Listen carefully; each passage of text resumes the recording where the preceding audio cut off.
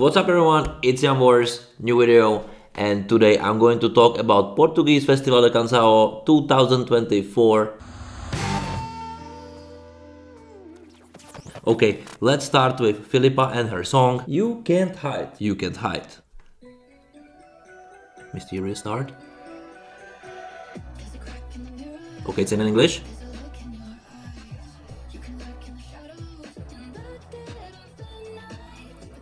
It's out of this world. It's not. It definitely stands out in a festival already because there is no really Portuguese rhythms.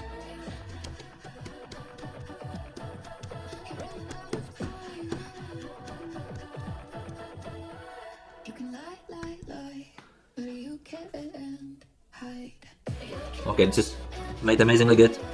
It's an amazing dark pop song. It really works. Like in radio, this would stand out. In the festival, it feels a little bit inappropriate somehow. And uh, you know I'm fan of, of English speaking songs. But this is very good done. This is very well done. And it's amazing tempo. It's a fresh song. It will be very good in any selection. It means nothing. The dramaturgy of the songs, it's, it's just properly done. It's not experiment at all. But the melody is chosen, the voice, tone, all those little details, the build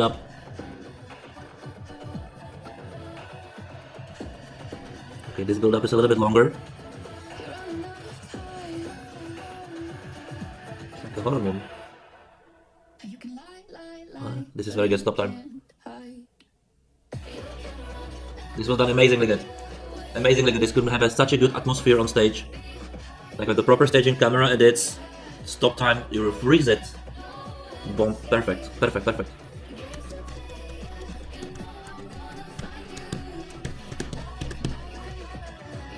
And it's again, it's mixed amazingly good.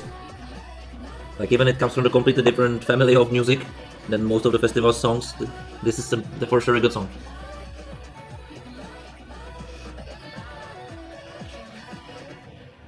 I think this works. This will work on radio, and I think this can work also on stage. Depends on how she will sell it. Because I think this, if she can sing like this, and she will also have this live charisma, will be dressed properly for this, and like chic, some diamonds, a little bit blackish, not really black, but blackish dress like a diva a little bit but diva elegant diva like from james bond movie. Arrogant face that would work perfectly. That that could really really work. And this because also it's in english and it's a different sound this is definitely understandable anywhere in the world anywhere in the europe because we are used to listen those songs so it will be easier to give to the audience like if i can say that there are songs made for eurovision kind of like i would say this is, this is the one like you can't hide is the song which would work immediately. You know, this has this international appeal immediately. You can see that this is not a domestic market made song.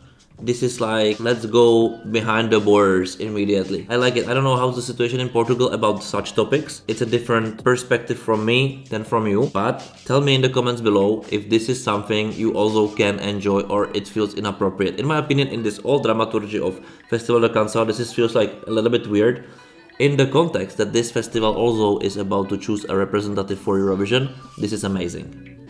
Honestly, like it belongs there for sure, and also it's a quality song, 100%. I'm very curious what will you write me in the comments below, and also I really ask you for share this video, subscribe the channel, buy me a coffee if you like my content and you would like to support me, join me on social media, discuss with me, I'm very open, if I will have time I will spend it with you. And that's it for now. See you in other videos. Thank you for watching. and see you next time.